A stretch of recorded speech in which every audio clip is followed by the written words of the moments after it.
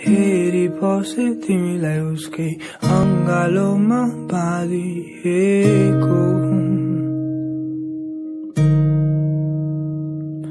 टाढेबाट डोलाइरहे त्यो मुहार चन्द्रमा जस्तो बोलाउन त मन थियो तर आँटे आएन बसिरहन खोजे तर मनले चाहेन। संसारका सारा खुसी तिम्रै नाम होस्। यही नै छ